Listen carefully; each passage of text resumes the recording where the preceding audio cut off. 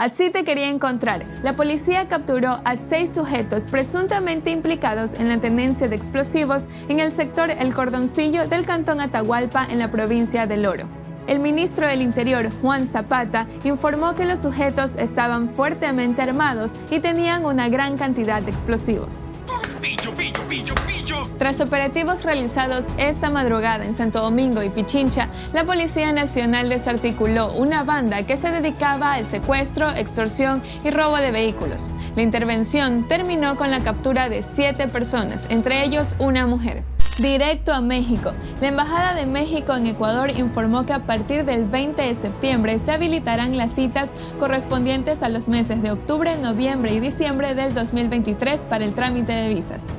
México pondrá a disposición de los solicitantes de visa en Ecuador alrededor de 5.500 citas ordinarias.